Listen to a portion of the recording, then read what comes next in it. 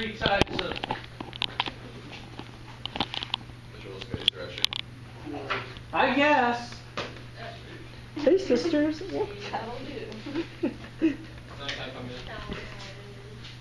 Imagine opening your bio thing video and be, hey, sisters. Um, there's three types of relationships, interspecific relationships. We talked about them yesterday. This is an example of commensalism. A bird making a nest in the tree. Tree doesn't benefit from the bird being there. It could, couldn't it?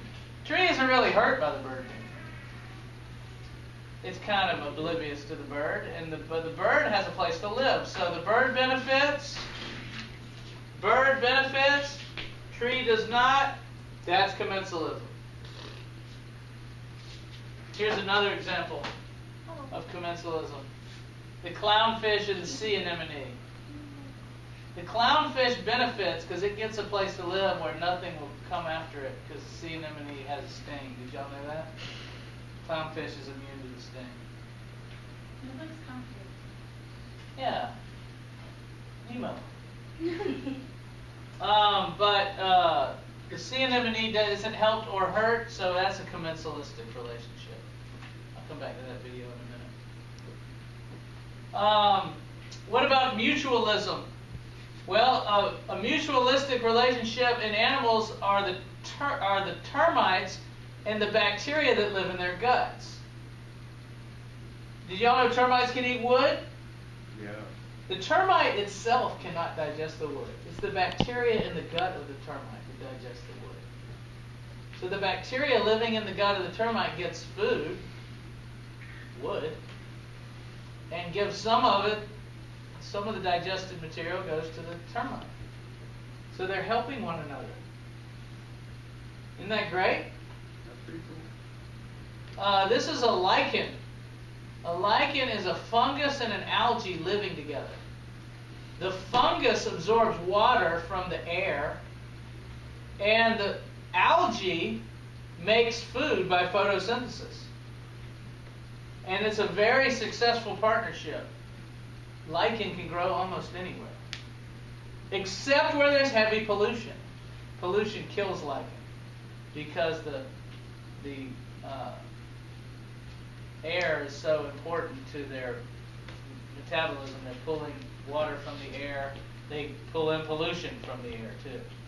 So um, that'll, that'll kill them. You don't see lichens in the middle of big cities. You can always tell if the air is good somewhere by looking for lichens.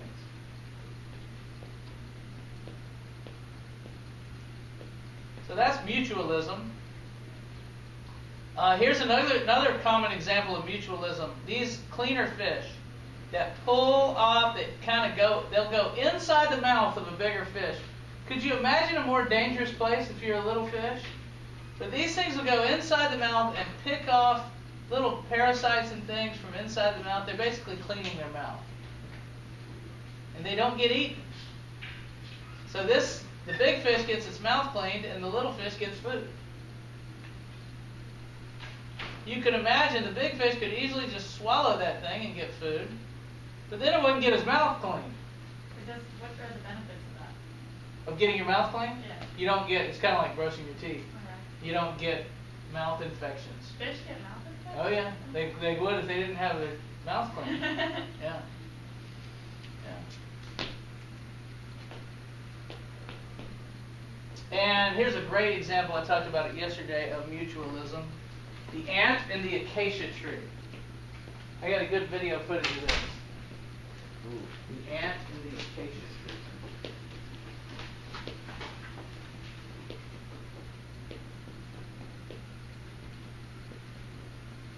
I wonder if, is there a way to pause the camera without turning it off? Yeah. There is? Uh huh. You can- pause it. You can pause it without stopping it? Uh, I can pause it. Yes, and then I guess un. Would that end the video though? That's what I'm saying. I don't want it to end the video. I just want to pause it. I don't. I have no Go ahead and clue. do. Do me a favor. Just put the camera face down, but cover it up. Pause. Uh, Why? It's In got- Africa, there are a great number of very detailed. YouTube will cut it off, even though it's legal because I'm only showing a clip, but like matches it with, with uh, what is this from? This is from uh, um, what's the English? Earth. Yeah, it's like it's one of those shows. Vermin plant eaters. Cover it up so they can't hear it. Acacias protect themselves with spines, but they're by no means a total defense. Some animals, it's true, are put off by them, but others, like a giraffe, seem able to ignore them.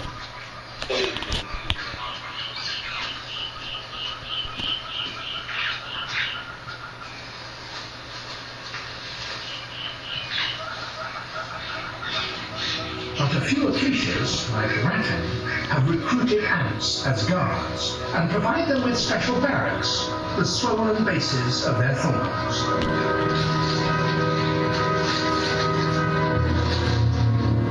One nibble from the giraffe is enough to bring out the defenders.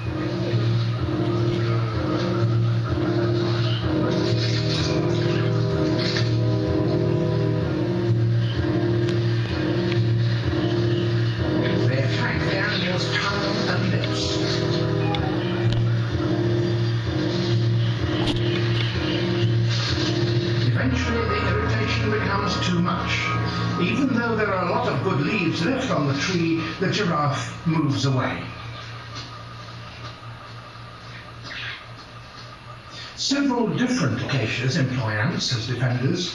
As well as providing accommodation, the trees pay their security staff with a sugary nectar that wells up from little glands on their stems.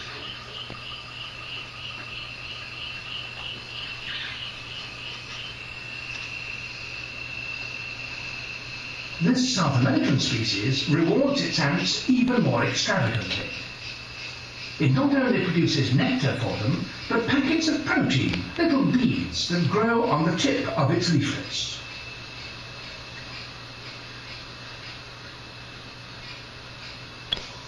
But these are not for the adults. They're special baby food, which the workers take back to their larvae.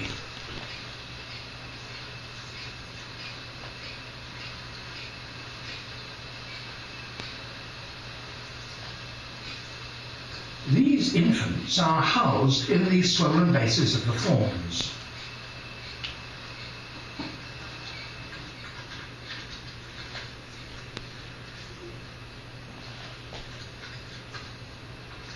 The worker tucks the bead into a special pouch just beneath the larva's jaws.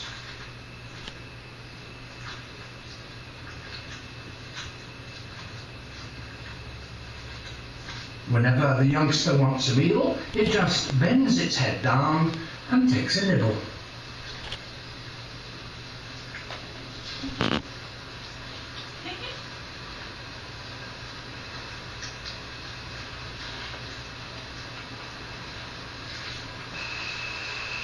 In return for these lavish provisions and amenities, the ants mount a very energetic defense of the acacia, rushing to attack intruders. Insect that lands on the tree, hoping to nibble a leaf or two, is soon dealt with.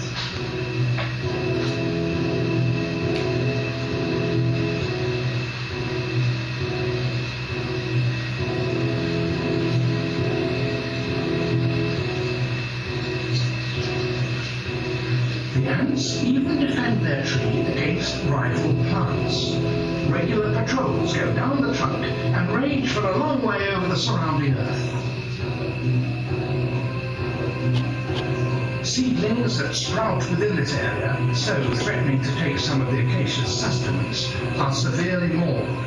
The ants aren't eating this plant, they're chewing it to death.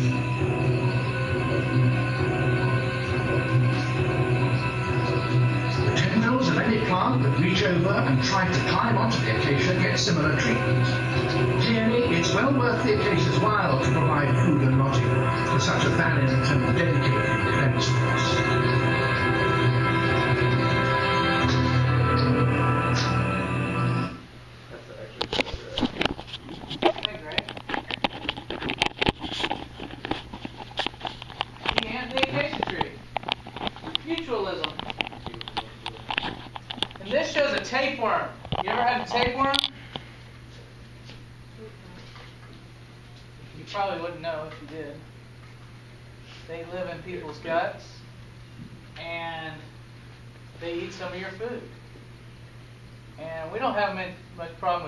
tapeworms here in the United States because we poop in toilets. And we flush it and it goes to sewage treatment plants. But in countries where you poop on the ground or in the river or wherever, you can get tapeworm eggs in your feces, which can grow inside your gut if somehow those eggs get in your mouth. You know, if you got crap on, on your food. Um, the eggs get in your mouth, they live inside your gut, they grow into this big long worm.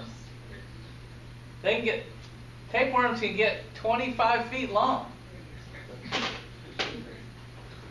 And people can be infected with a whole bunch of them too. And they mate inside your gut. It's pretty disgusting. They lay eggs that come out in your poop. Do you have video footage? I don't. Can we find video footage? No. Uh, probably. Tapeworm life cycle. I took a great class in college called parasitology. you might have a parasitology book.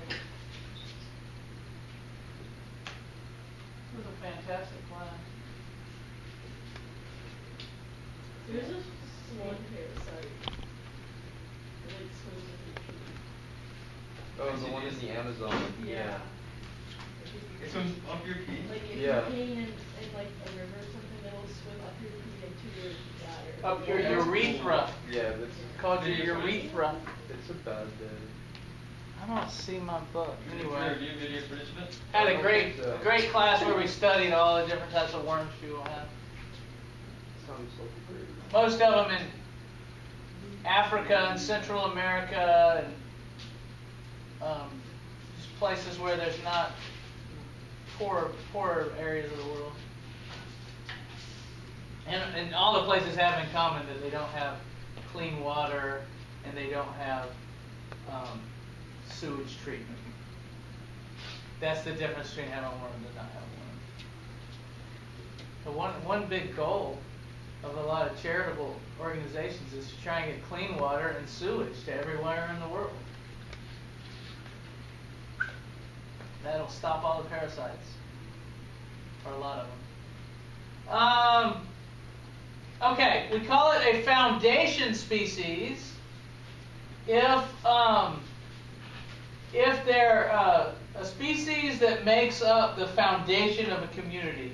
It's usually what we're talking about is one of the uh, the species at the bottom of the food chain. And coral is a good example. Coral is the foundation species of a coral reef ecosystem. The coral grow, and do you know that inside the body of a coral are algae? Did y'all ever learn this anywhere? Algae live along with the coral and do photosynthesis and make food. And that's kind of like the bottom of the food chain. And then there are fish that will eat the coral, and bigger fish that eat the little fish, and so forth. It makes a whole food chain. So the coral are called the foundation species. What do you think the foundation species of a marsh ecosystem is? The grass. The marsh grass. There you go.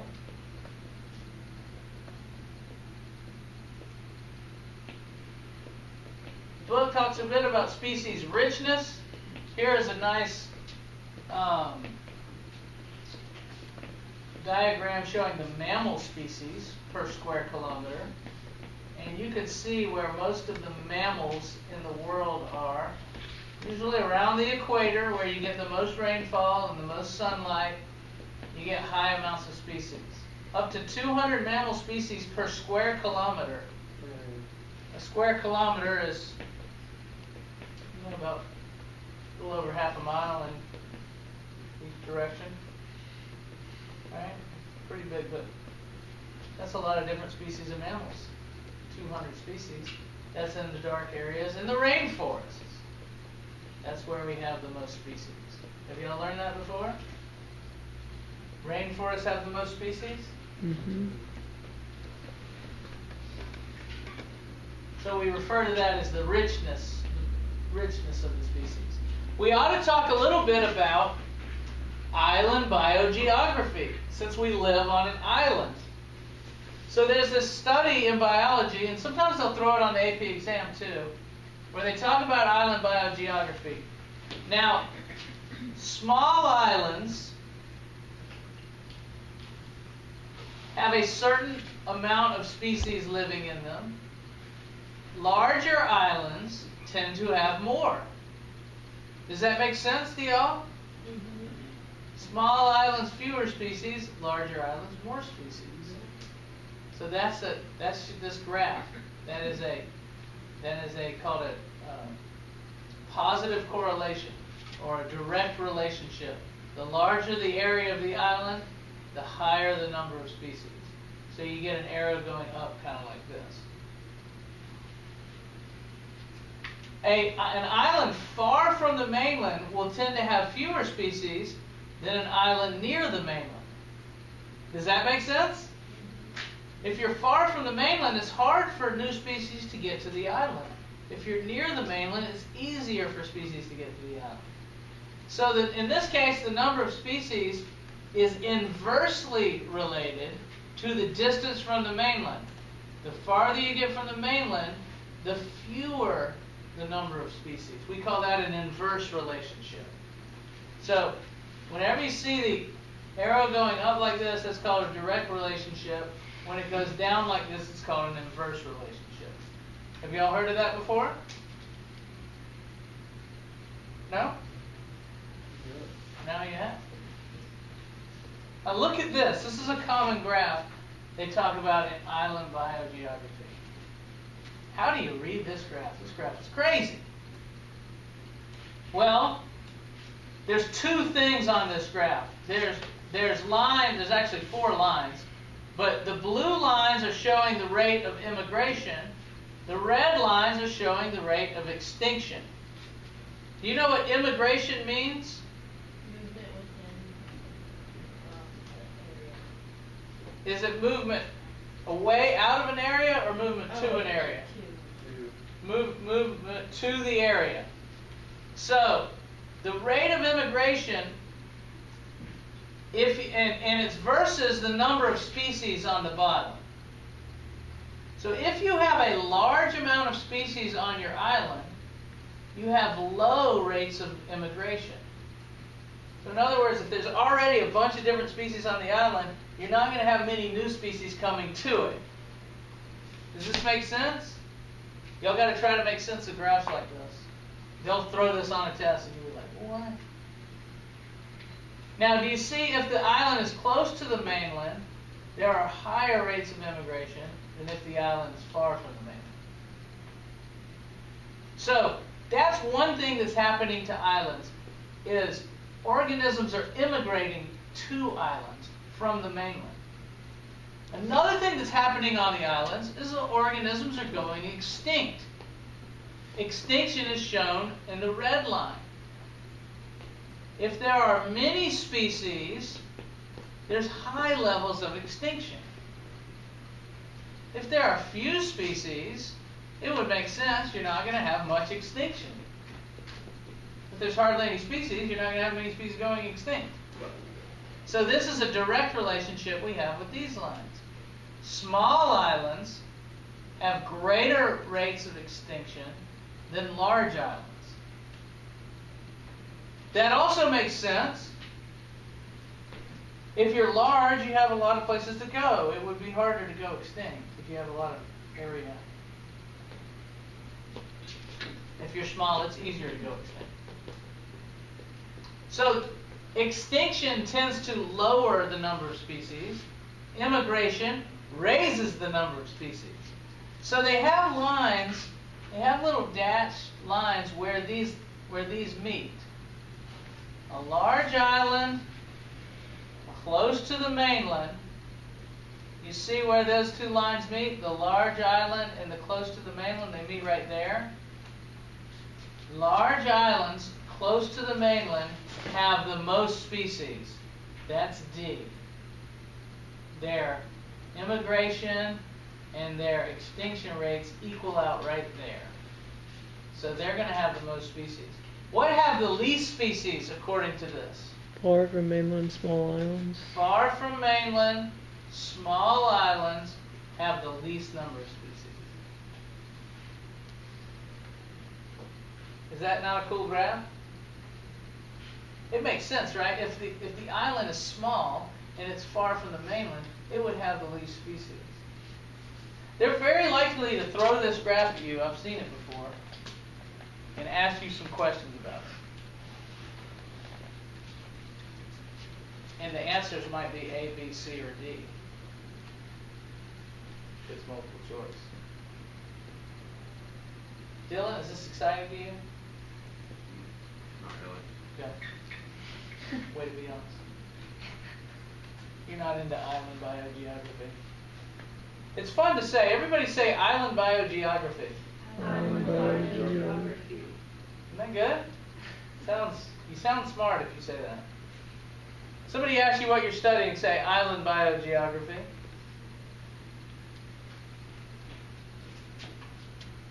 They'll think you're cool. Nerd. Even, even though you're not. Okay. Um, what about keystone species? You ever heard of a keystone species? Mm-hmm. Do you know what a keystone is? Yeah. What's a keystone? Top stone and arch. And it's the top stone in an arch. So when you're building an arch, you build this part of the arch and you build this part of the arch, and where they two come together, there's a stone in the middle where they lean together. And if you were to pull out the keystone, the whole thing would crumble. Architecture. How many are going to be an architect when they grow up? Possibly maybe. I don't know. Maybe. Nathan Brock. Yep, He's an architect. Leanne. His wife. Oh, his wife. Okay. I was saying, I was thinking you had a sister or something I didn't know about, or an aunt or something. Okay, so uh, um, a, a key, the keystone is very important to the arch, right? Well, the keystone species is very important to the survival of a community. This is a, um, a type of starfish called Pisaster is the genus, and um, if you were to remove this starfish from its community, you would have all kinds of issues. Because the starfish is kind of the top of the food chain, and it eats it eats these uh, mussels, and um, if you remove the starfish, and we know this because starfishes are were killed by the fishermen, they didn't like them because they were eating the mussels, and so fishermen killed the starfish in a certain area in Massachusetts, I think, and then the mussels got out of control and started just multiplying like crazy.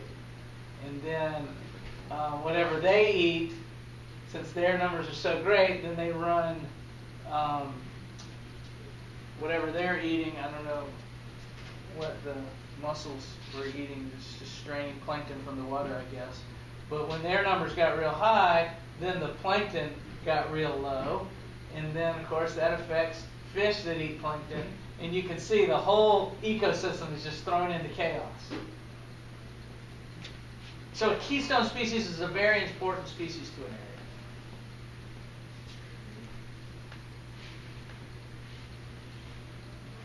Uh, this is talking about invasive species. If you move a species from one place to another, it may very well not have any natural predators or not have anything that has evolved to be able to eat it, and so it might just grow um, and multiply and get in huge numbers. So these are all invasive species. The invasive species you, you talk about ar- around. Um, have you ever heard of kudzu? Yeah. You ever like ride around in Atlanta up there? It grows really. It doesn't grow as well down here as it does in colder climates. Man, it's just everywhere. It was brought from Japan to stabilize the roadsides, and it doesn't have any insects naturally here that eat it, like it does in Japan. So here it just kind of grows like crazy. They brought in goats those- to control it. Why not bring the insects over? I don't know. Well, then maybe there is. That could be. Uh, too. There's another invasive. I don't know if we want to keep bringing invasive species in to try and solve problems, but um,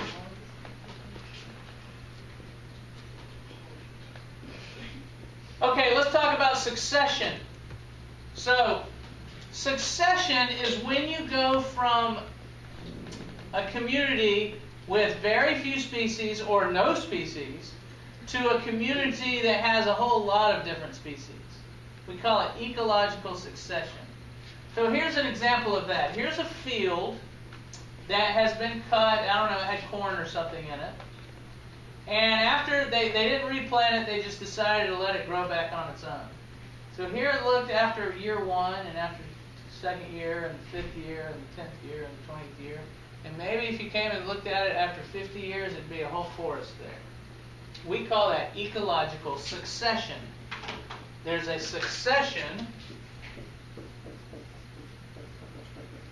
There's a succession of species that, that take over. And the first organisms that grow in an area are called the pioneer species. Have you ever heard of that? So it's usually like lichens or grasses weeds, just something that grows real fast. It doesn't need a whole lot of nutrients and that sort of thing. They'll be the first to go into an area.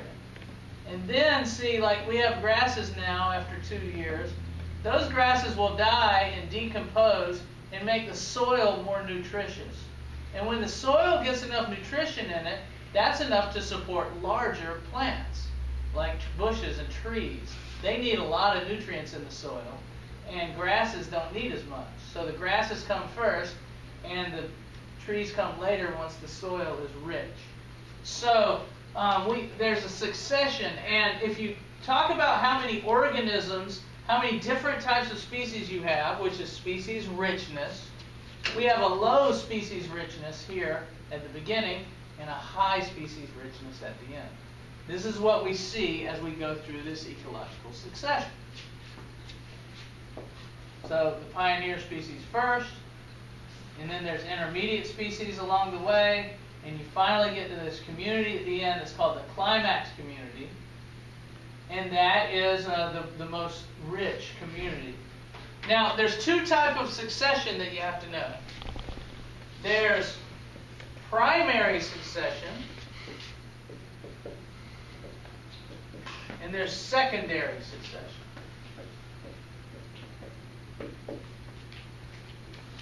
The primary succession is when an area recovers from bare rock, no soil. Where in nature might you find just bare rock? Lava. A lava flow. Great example. In Hawaii, the lava, liquid hot magma, comes out of the earth and forms mm-hmm. lava, which spreads all over. Sometimes entire new islands come up out of the ocean just made of lava and it cools and hardens and it's rock and it's just sitting there. It won't be rock forever. We call this primary succession because there's no soil. When it's primary, soil has yet to been made or established. So the first thing that has to happen is the, the, the lava has to be eroded into sand.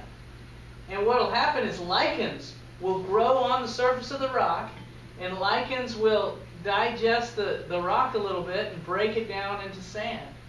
And it takes a long time, but it'll happen. And then the lichen will die and leave some of their dead body along with the sand.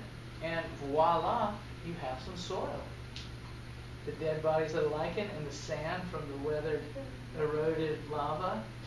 We're getting going here, aren't we? It's just a thin layer at first. Maybe some seeds carried by bird dung land in the sand, in the, the little bit of dirt you form. And maybe sprout a little weed. And now you got a little greenery. That's how it starts. It takes hundreds of years to finally get nice, thick soil. Even thousands of years. That's primary succession. Primary succession takes a long time. Another example would be just like a, an old road, an old abandoned parking lot. There's no soil there, it's just cement. You know, an old tennis court that somebody lets go. You know, you gotta you gotta break up all the court first before you can get growth on it. It takes a long time. Secondary succession is when you already have the soil. There's already established soil, but something clears the soil, like that um, the field here. There's already soil there, and they just clear it off by picking the, the crops. Or you could have a forest fire. Come through an area, just a real bad fire, and kill everything. You still got the dirt, and stuff comes back pretty quickly. Secondary succession happens fast. You could you could go from from here to here uh, to to a forest in maybe 50 years, um, 100 years. Primary succession t- might take thousands of years. Would you like to see video footage? Oh, here's another look at it. Video footage of ecological succession.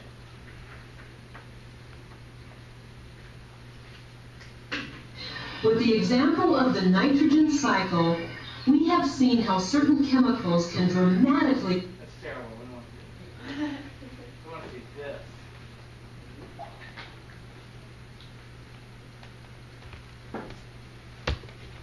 So if you don't already know, Grammarly is an online writing assistant. It pretty much helps users become more clear and effective with I already know. No, no, I don't want to. Sorry. I guess you don't get to watch it. All right. How about my wipers? Can you wipe?